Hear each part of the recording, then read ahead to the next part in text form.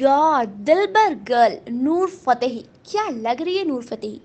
आखिर इतना अच्छा और हिट आइटम सॉन्ग करने के बाद आखिर ये नूर फतेही चाहती क्या है? क्या चाहती है कि बॉलीवुड की फ़ेमस एक्ट्रेस बने?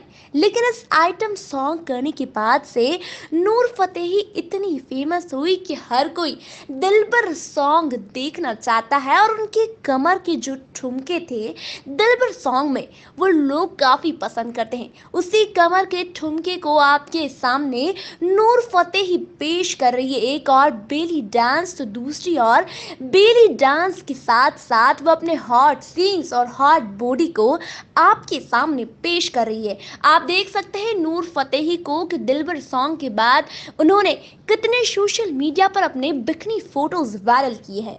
देखना ना भूले घमास्तान पर। Subscribe our channel and press the bell icon for more updates.